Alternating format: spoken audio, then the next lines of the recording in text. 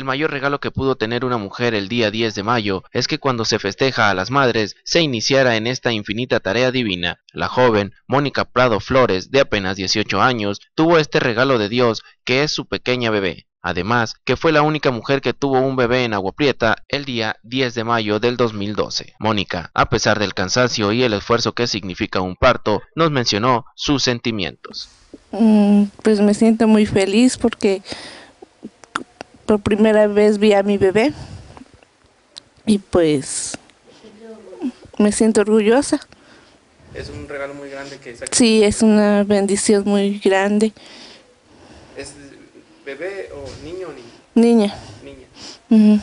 De acuerdo a los médicos del Hospital General de esta ciudad que atendieron el parto, no se presentaron contratiempos y ambas se encuentran en perfecto estado de salud, acrecentando la dicha de quien fuera llamada la Madre 2012 en Agua Prieta. Con imágenes de Alejandro Figueroa, Carlos Remorales, para Abson TV Noticias.